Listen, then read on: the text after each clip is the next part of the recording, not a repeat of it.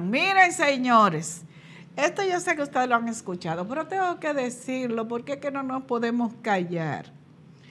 El programa de proyectos especiales de la presidencia, el famoso PROSPE, donde están todos los dirigentes de base, los presidentes de zonas del PRM, cobrando 50 eh, mil pesos con algunas asignaciones especiales y que estaba siendo desde su inicio de este gobierno dirigido por Nene Cabrera, una figura de Hipólito Mejía, dicen que gastó más de 165 millones de pesos en charlas, talleres y entrega de canastilla en tres meses.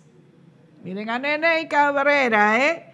Pese que es una institución que carece de su propio presupuesto, la Dirección General de Proyectos Estratégicos y Especiales de la Presidencia de la República, el PROSPE, logró manejar casi 6 mil millones de pesos el año pasado y tiene aprobado más de 4 mil millones para el 2023.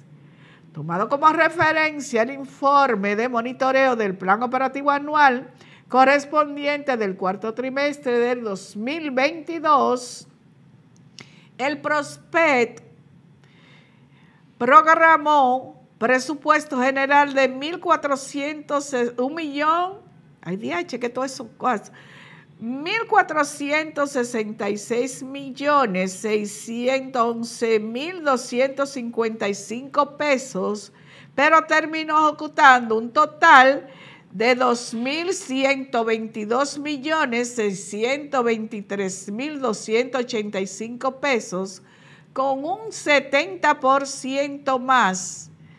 Y para ese periodo todavía estaba al frente de esa entidad José Leonel Cabrera, Ariane Ney Cabrera, quien renunció a su cargo luego de informaciones que cuestionaban su gestión. Pero fue casi empujado que lo hicieron renunciar. ¿eh? Según ese informe, a través del programa Dominicana Cree Contigo del Prospect, el cual está enfocado en el citado a los niños de 0 a 5 años de vida.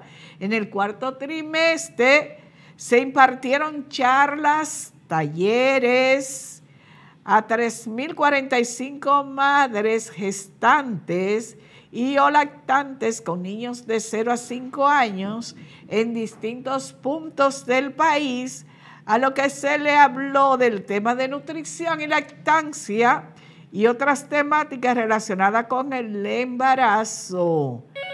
Ahí se gastaron 165 millones. ¿A cómo salió eso, madre mía? A su orden. Ay, Tito. ¿Y qué es lo que está pasando? ¿Y los cuartos dónde están? Adiós. Usted, le vio los buchitos a, a, Nene Cabrera. usted, usted verá cómo le van a poner en el 25. ¿A qué le telengan?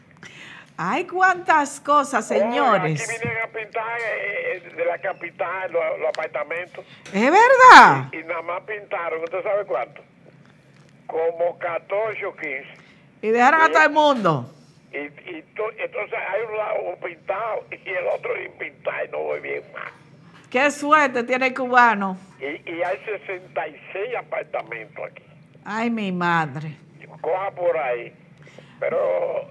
Vamos a ver, porque de que el presidente nombró una comisión ahora para titulación. Vamos a ver si ahora salen. ¿Para pintarlo? No, para pintarlo no, para los títulos, lindo. Me ah, interesa más eso. Claro. Ah, pues vamos a ver, porque yo apenas que vino aquí. Me llaman esta mañana y me dijeron que van a hacer una reunión. Usted sabe que yo estoy luchando con unos títulos de allá y que van a hacer una reunión porque esa comisión que nombró el presidente va a accionar y vamos a ver si salen los títulos. Bueno, porque si están dando títulos de tierra y para allá, para los campos, ¿por qué no dan estos títulos que están en la ciudad? De cosas ya exoneradas por el gobierno. ¿Qué es lo que están buscando? yo sé lo que, lo que ellos pidieron. Lo de siempre, ¿qué hay para mí? ¿Qué hay para mí? Porque Eh, si no hay ventaja, no hacen nada. No diga nada, cuídese mi ahí. Gracias, mi amor. Beso.